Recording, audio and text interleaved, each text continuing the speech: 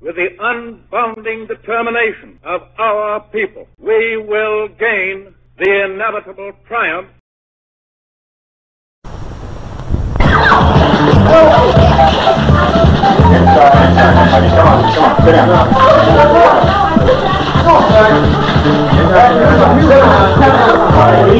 Everybody remain seated where you are. Hey, man, are you putting me on? Yeah. Yeah, then why isn't alcohol made illegal? Flowers and grass. Like toothpicks get hangers and cirrhosis in the liver. Besides, grass doesn't have it for me like alcohol. Besides, that cigarette much worse. Right, man. As much as you want. Pretty to have a party. There's nothing wrong with grass. Yeah. A thousand times, you'll never go to Harder Drive. Don't take any films of me. You're not going to use them anyway. Well, speak your mind then. Okay, I will. No one has the right to tell me what I can do with my own body, what I can eat, drink, or smoke. This is a free country, and no one has the right to take away my constitutional rights. I didn't do anything. I didn't do anything. Careful that the American people have accepted a law that makes smoking a harmless weed illegal. Marijuana's legal all over the world. There's no question about it. Marijuana should be made legal now. Now. Make marijuana legal! Make marijuana legal! Make marijuana legal! I'm calling adults anyway. Matter? I'm feeling good. Marijuana legal. Make marijuana legal. Good, bad, right, wrong. That's not where it's at in this film. Right, wrong, good, bad. Those are things for you to decide. Too many people have already decided for themselves and you whether grass is good or bad. What's most important is what you think. So without any preaching from this film, let's examine the facts and only the facts. There are too many false impressions and prejudices to do it any other way. Okay, then why isn't alcohol made illegal? It's a lot like take juice freaks, man. They get hangover and cirrhosis of the liver. Besides, grass isn't habit forming like alcohol. Right. The facts are, if you drink enough, alcohol will give you hangovers, cirrhosis of the liver, and what's more, it can even kill you. If you are a certain emotional and psychological type, you may become dependent both physically and emotionally and will join the 5 to 6 million known alcoholics in the United States. Now, what are the facts about marijuana? What do doctors and psychiatrists have to say about which is worse for you physically and emotionally, alcohol or marijuana? The facts are, at this time, there are no known damaging physical effects from the use of marijuana. But, unlike alcohol, when you take too much at one time, you don't pass out. You more than likely run the risk of an unpredictable and unpleasant bummer.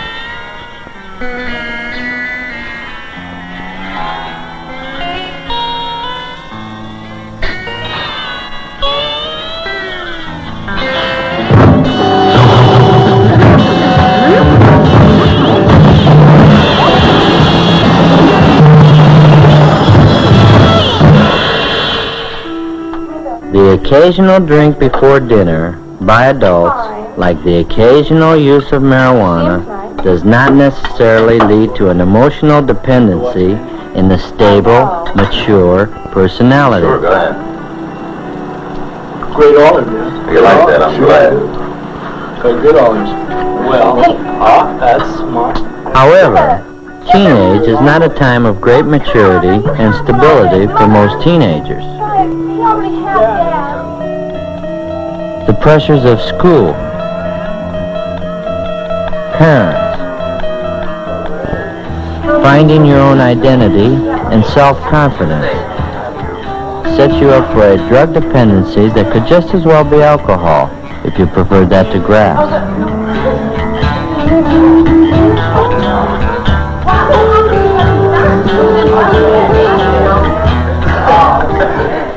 Some adults are not mature or strong enough to stand the pressures of their daily lives.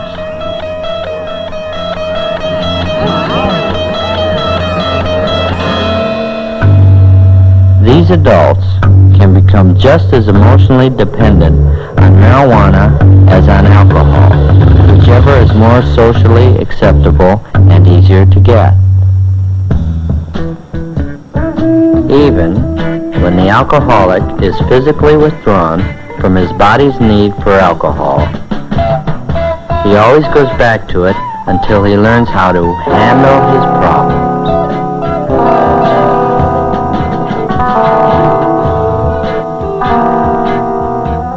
Just as the alcohol drinker who finds himself needing a drink more and more frequently is the warning sign of his dependency, so it is with the pothead. The more he needs the escape from reality or the pleasure of marijuana, the more he is becoming emotionally dependent exactly as the square and unhip alcoholic adult does. Do two wrongs ever make one right? Cigarettes are much worse than pot. Man, no one ever got cancer from pot.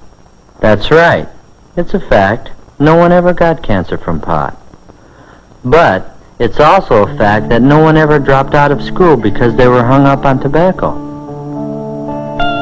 And no one who just finished smoking a cigarette ever forgot she was driving a car as she tripped out on the beauty of a back road nature trip.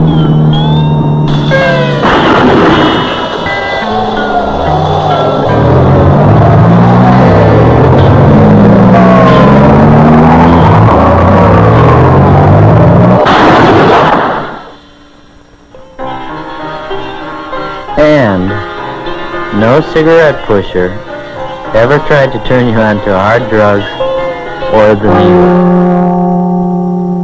Another basic difference is that you can smoke cigarettes and do other things. You wouldn't dare to do this on pot. Or this. Or this. And would you rather your pilot had just finished a joint, not a cigarette? Or your surgeon operating on your heart? Your attorney pleading your case? Your sergeant? Your dentist? Your flight leader? Your team center? Your LSO?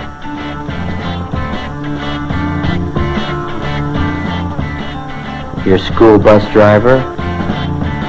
Your country's astronauts?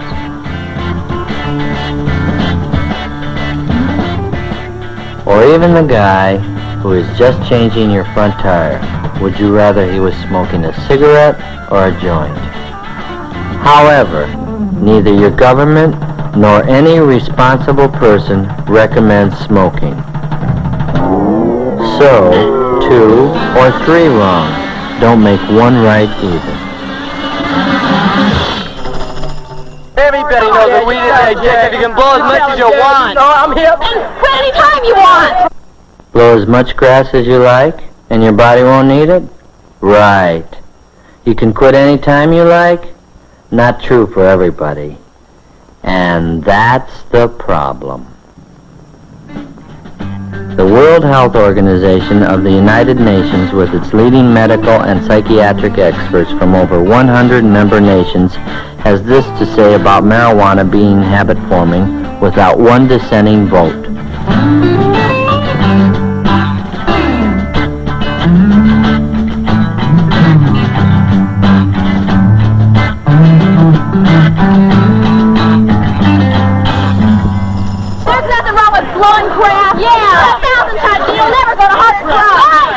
That may be true for the great majority who smoke pot, but it's not true for the many thousands who have gone on to acid, amphetamines, barbiturates, and end up on heroin. However, it is not a fact that practically everyone on grass turns into a flaky drug addict. That's just not true. Every informed person knows this. What is true may be discovered in this Narcotics Rehabilitation Center in some of the group therapy sessions, where we will learn what former drug addicts have to say about marijuana turning them onto hard drugs. How many of you started on pot before you started heroin? I did. I did too. I did too. I did. So did I. I did. I did. Me too. Me too. I did. I did. So did I. I did. I did. That means all of you used marijuana then?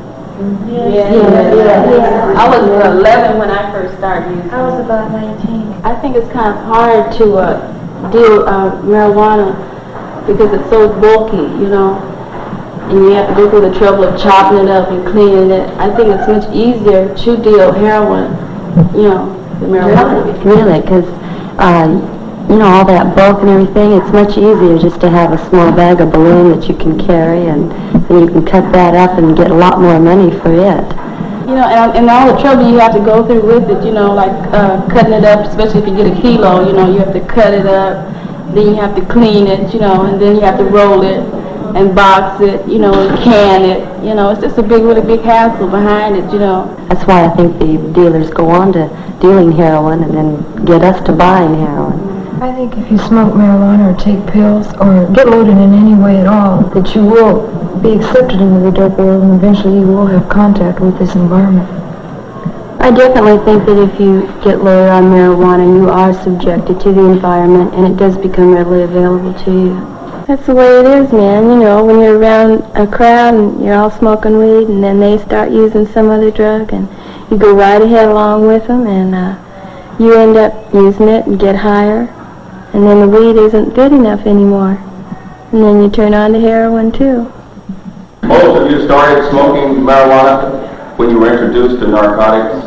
I did. I started smoking weed. Did, uh, Not me. For me, it was, but uh, I wanted a different high, you know, and weed wasn't, uh, it wasn't good enough, and I heard that heroin and stimulants, crystals, were a better high, and that's why I went to them, you know. Yeah, I'm the same way, man. I guess uh, a lot of people uh, started that way. Speaking for myself, I did. I started on weed and uh, got burned out, and I needed something stronger, so I went to heroin. Well, I started smoking weed, you know, because I was running away from some, you know, something which was myself. And out of all the, I've run through a lot of highs trying to run away from myself. Heroin, LSD, methadone. I, I like marijuana, I just couldn't handle it myself. Uh, I was looking for something else. I myself think uh, really the real reason I started smoking marijuana, man, because usually I was one of the younger dudes from the neighborhood. I wanted to be accepted. I was weak, scared, and uh, from this it led to heroin, and it's just been an endless time going to jail back and forth, man. Uh, I don't like it, and I hope nobody else will use this, not because of the fact that it's bad itself, but what it, it leads to, man. Uh, this is the way I feel. Well, I can only speak for myself, but I imagine some of the other dudes in here feel the same way I do about it. That some people are addicted prone to it. I mean, uh, like myself, I can't handle it because, I mean, this is just the way I am. I use it for an escape. I did it before I, I, I came in here. I hope when I go out that I've changed, in which I feel that I have, but, but I'm, a, I'm a small minority of people that uh, we can't handle anything, you know, like my alcohol, I can't handle that. I couldn't handle heroin. I mean, uh, weed because I needed something stronger to escape or anything else like that. And there's more people like me that I feel, you know. And uh, uh, I imagine some of the other dudes in here could uh, could go along Couldn't with handle liquor either. No. Yeah, it's a, it's a personality thing where there's sure there's a lot of people that can go out there and These are the files of the Research and Statistics Office of this Narcotics Rehabilitation Center. It's like out of 100 drawers, 95 of them are filled with file folders of people who have started on marijuana.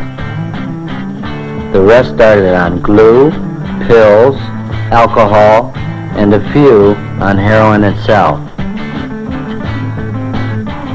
A more accurate percentage is 78% of the inmates started on marijuana. However, what the computer doesn't say is There's certain kind of people that'll avoid taking care of business and will turn to grass when they get hung up and forget about everything else they're supposed to do when they're behind grass. Marijuana doesn't, uh, you, you, not addictive, but by using it, uh, you uh, don't you, you don't do the things that you should do. For instance, like in school, uh, you try to do the things that you have to do in school, but your mind is uh, it's not all there. You understand? Nobody can tell me what to do with my own body, what I can eat, drink, or smoke. This is a free country, and nobody has the right to take away my constitutional rights. That could be a fact if you were the only one affected by what you do. But the Constitution and the laws that came out of it were designed to protect the individual and the group from irresponsible individuals, which is why there are speeding laws, building safety laws, pure food laws, pure drug laws, laws to protect your money, laws to protect children, laws to protect the aged, and even a law to protect you from taking your own life.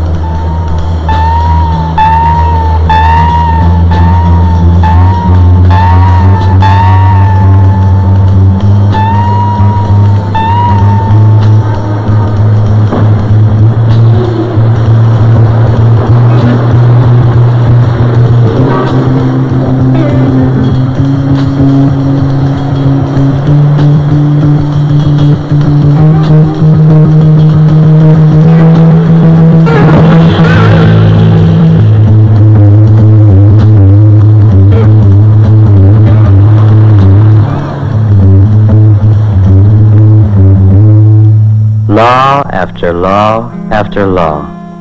All of them hopefully designed by a democratic government to protect both the individual and the group. From aspirin to the latest vaccines, the manufacture and control of all drugs is government supervised.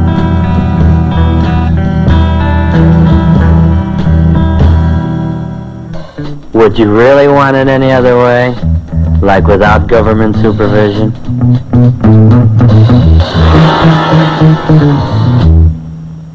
As a drug, marijuana comes under the supervision of the federal and state governments.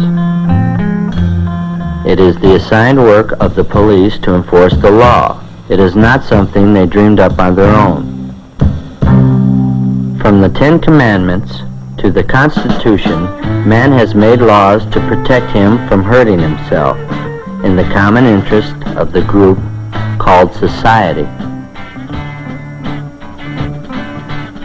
Doctors, psychiatrists, social scientists, chemists, biochemists, Basically, people who are not primarily concerned with the ethics or morality of the use of marijuana have provided their expert knowledge to our legislators, which in turn has caused them to pass laws to make marijuana illegal, not as a matter of morality, but as a matter of health, mental health, period. That the American people have accepted a law that makes smoking a harmless weed illegal. Marijuana is legal all over the world. There's no question about it. Marijuana should be made legal. Now! Now! Marijuana! There's no question about it. Many young people agree with that. Let's examine the facts. First, marijuana is not legal all over the world. It isn't legal in Mexico, Egypt, India, Great Britain, China, Japan, or any of the major nations in the civilized world. Nigeria is one of the latest countries to make marijuana illegal. Here, the pusher is given the death penalty.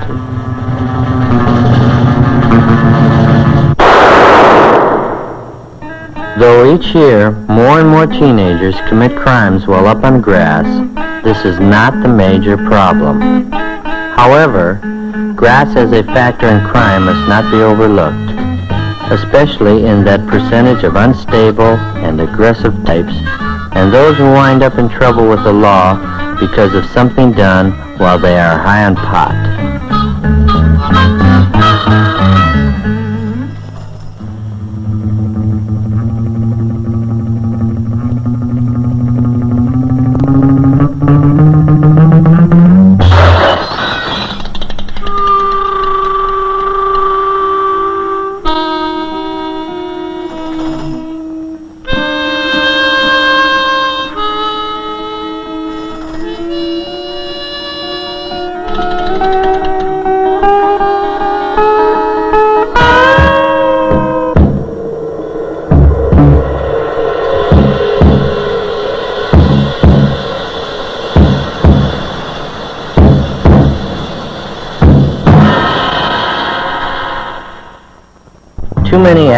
Decent teenagers smoke pot without committing crimes, except for the illegality of the sale, possession, or the use of it. So, why not make it legal? Why not bring it out in the open and make it legal in America? It's just that there are too many unstable people in America who would become emotionally dependent on marijuana and end up as non-functioning weed heads.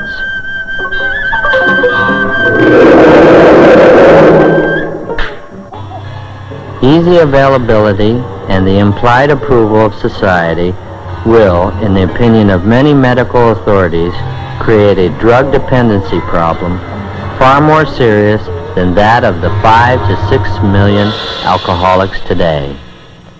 If the acknowledged effect of marijuana is much greater than alcohol, it becomes easy to see why the emotionally unstable and immature may turn to marijuana in even greater numbers than to alcohol, and eventually go to more dangerous drugs in the form of LSD, pills, and heroin.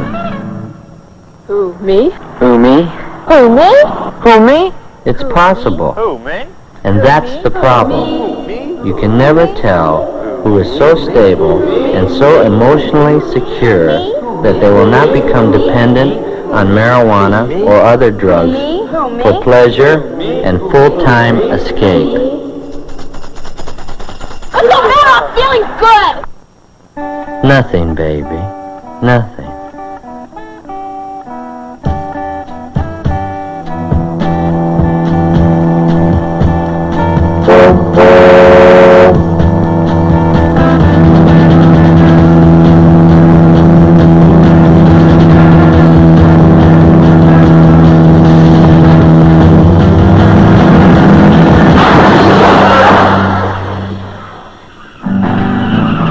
Years ago, only the criminal and socially deprived blew grass or used heroin. Today, the nicest people may be on grass. Why is that a fact? I took it on a dare. But only kids take dares.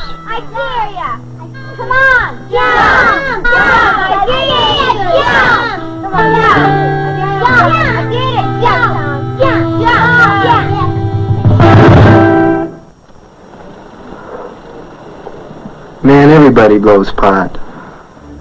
But everybody doesn't blow. I don't want it, man. I don't want it. Take it, take a hit. No, I, I want it. I don't want it.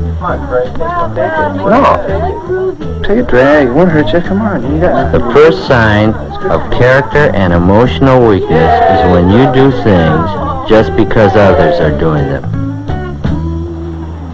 When I'm high, it enhances my creativity. This is the same subject matter and painter for both paintings. One was painted before going up on weed and the other while high on weed. Can you see any significant creative difference? When I'm high, it enhances my creativity. The artist thinks he's being more creative, but do you see it in his work? To some extent, the very inhibited person may feel a greater freedom to be creative, but this doesn't mean he will have the necessary talent to be so. It really makes me understand myself. If you don't understand yourself when you're down, then there's no logical or scientifically accepted reason that you will when you're high. Besides, while you're up on grass, you may tell yourself only what you want to know. If you are lucky enough not to be on a bad trip and discover a frightening thing about yourself at that time.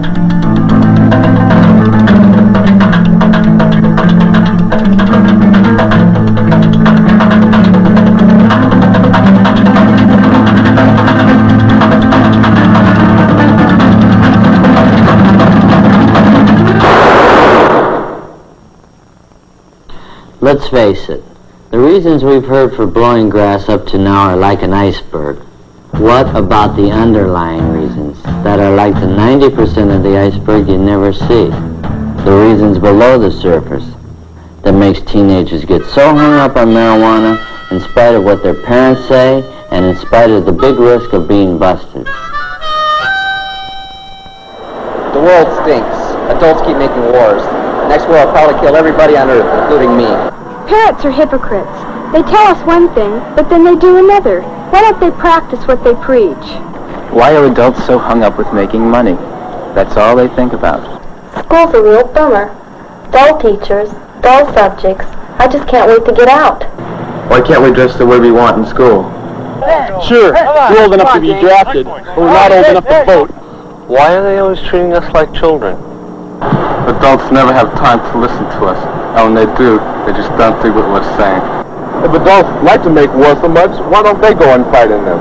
I'm better educated than either of my parents, but they don't listen to me. How can I plan for the future with the draft waiting for me? Why don't you come back some other time when everything is all right with us? And in the meantime, I'll do what I want to do here, and you do what you want to do where you live. Dig? Why shouldn't I smoke grass? Why shouldn't I live now and have all the fun I can? If I don't get killed in the war or by the big bomb, all I can look forward to is making money like my father, and I know he isn't happy. You know, sometimes I think it's like a war. Everyone over 30 is enemy. Mm-hmm. Over 30? Over 25? Obviously, these are things that bug a lot of the young people. But this time, rather than hear from the establishment, who run newspapers, radio, television, book and magazine publishing companies, political parties, and schools, let's hear from those other teenagers who aren't smoking pot. Not all teenagers are on grass. I'm not, and my close friends aren't. Every time someone wants to turn me onto pot, they tell me I'll discover myself. Well, I don't need that kind of crutch. Besides, I've never seen any potheads come up with any kinds of answers that help them cope with the kind of problems they have, or I have. I think the teenagers of today are very idealistic, but we don't have definite ways of showing it. We're not old enough to vote, and older people are always telling us what to do. You can't blame us too much for fighting back. But I don't think taking drugs is fighting back. The most you can say for it is it's a sign of rebellion. But what we rebel about isn't changed one bit by getting high on marijuana, because when you come back down, nothing's changed. I think that parents have done the best they can. You can't expect them to know all the answers. Lots of us have had a better education than they have, but that doesn't prevent solutions for their problems instead of trying to find new experiences. I say that teenage is the time to put up or shut up, not to gripe and go on a trip inside yourself. Parents have to have to go out every day and deal with the things in the outside world that bug them too. E, Mike. I know my parents are too hung up on making money and putting on a show for the neighbors, but that doesn't mean I have to put down money completely, because maybe when I get married, I'm going to have to have money for my family too. I just don't have to be as materialistic about it, that's all. The world is changing, and some things are still too hard for our parents to understand. But blowing grass, well, that's really a cop-out, and it won't help our parents understand a darn thing. School is like everything else. You only get out of it what you put into it. It's not a party. The way I look at it, I'm here to learn. Even if some of the subjects or the teachers aren't the greatest, I've got the best of it for an education, and everything extra is just gravy. There really is a communication gap, but I think that if I have a better education and better life than my parents, I should make the first move to make that gap become smaller and smaller. From what I've read and from what I've heard, there are millions of adults over 30 who don't like and are going to war any more than we do. I honestly believe that adults are disappointed in us because it's always been expected of young people to try to change things, to make things better, or at least prepare to change things if we don't like them. Not to cop out on life through grass or other drugs. No, not for me. I'm more interested in dropping into the world I live in than turning on, tuning in, and dropping out. I don't like to criticize anybody, but I think that too many teenagers don't have too much purpose. It's like they don't have any goals. I don't mean that they should just be planning to make money and all that, but I think that trying to find something you'll enjoy doing for the rest of your life is the least you can do now, because everybody has to work, even girls before they get married, and even after they do. I think too many teenagers traded in their idealism for a stick of weed. When I see some teenagers acting superior to those of us who don't need drugs to feel good or understand ourselves, I get real bugged. Well now, you've heard from both sides of the question. But what you do with your life is up to you. If you become a pothead, you risk blowing the most important time of your life, your teenage. That unrepeatable time for you to grow up and to prepare for being an adult that can handle problems and make something meaningful out of life. Or you have the choice to have the courage to see and deal with the world for what it really is. Far, far from perfect, but for you and for me, the only one there is. While some of you will actually go to the moon and perhaps other planets, this world will be your establishment and you will be the establishment. And what you do or do your scene. You're the generation with the brain power and the opportunity to do more for the human needs of this world than any other generation in history. Let's hope that your teenage children don't have too much criticism about what you did or didn't do because you were on pot.